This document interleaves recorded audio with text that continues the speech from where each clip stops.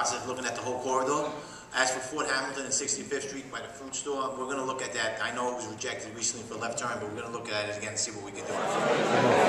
Basically, looking into see um, some signal timing changes. We're going to um, watch it. We're going to monitor and see how it goes. Pedestrian islands might disappear. Uh, absolutely. Uh, meeting with the Commissioner of Transportation, Commissioner Sadik-Khan, uh, a week and a half ago, uh, it was a great meeting. Uh, we sat and we discussed the issues here, and I think the Department of Transportation understands that this might have been a big mistake. And the issue from the very, very beginning was this was the issue the fact that ambulances who are rushing to Maimonides only a few blocks away, that they were getting stuck in traffic. Uh, uh, just a short while ago, an ambulance was coming from Midwood, Midwood Ambulance, got stuck right over here. I had to go into the street to get the ambulance out of traffic to be able to get to Maimonides.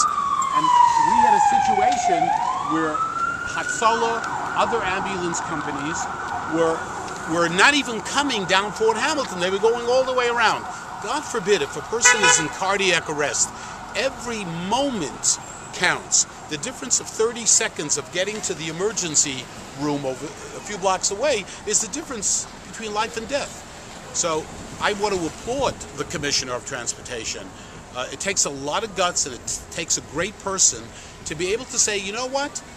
We need to look at this. Uh, maybe we can do it differently, and we are going to do it differently. So I am looking forward to the very near future, uh, very soon, uh, that these are actually going to be removed for the safety of the community.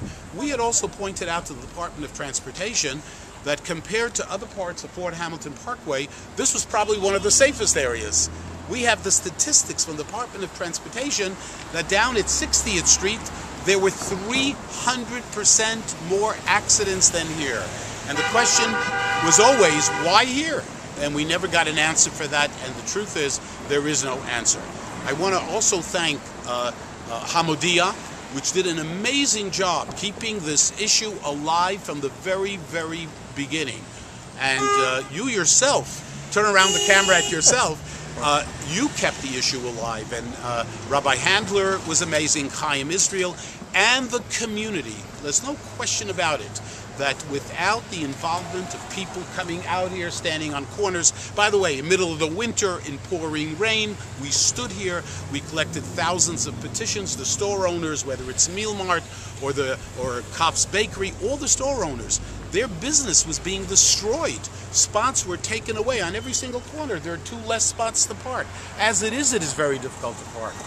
So this is really a great moment and a fantastic message for everyone. No, no, no. It's a lesson for everybody that if you believe you are right, if you think you have justice on your side, it doesn't make a difference what you're told by the higher ups. You fight for it, you stand up, you don't give up, you don't give in, and with Hashem's help, you're matzliach. And that is exactly what happened over here. This never made sense. I saw it from the very beginning, and I told my staff, we will win with Hashem's help. Most people said to me, I have to tell you, said to me, you're wasting your time. Good story, we appreciate your trying, but I think most people never thought. I mean, these things cost a couple of hundred thousand dollars. A couple hundred thousand dollars. They just planted trees two weeks ago. When people called me and they said they're planting trees, I said, don't worry the trees are going as well. So, uh, you know, it's just a great Where would you like moment. to see the pedestrian islands go? They're going to take it, where do you want it shipped to? Uh, they can send it anywhere they want. They can send it overseas. They can send it somewhere where it's needed more than it's uh, needed here. Brooklyn what I would Bridge like Park, to see, maybe? by the way, for all the people in this community, for seniors, I told this to the commissioner, is a, a digital clock. So when people cross the street, they know 15 seconds, 14 seconds. It makes a lot I used to talk about the islands. People thought I was going to an island. Which island? We, we, you know, visited the islands, you know? We- We had islands in Borough Park, but you know what? If I want to go to an island, I know exactly where to go. Very good. I guess the our public leaders do a great Nothing, job. we're not looking to pay anybody back or against anybody. It's just I think they did a very stupid move over here. Let's hope that uh, we'll have more parking and everything. And you would like to give credit where credit's due now that they fixed the mistake. You would you, Sure. you I think uh, we'll all tell them a big thank you. hope to see them gone pretty soon. Then I'll feel a lot Very better. good. I'm very happy that they're taking care of it. It's, uh, it's, I mean, no no no.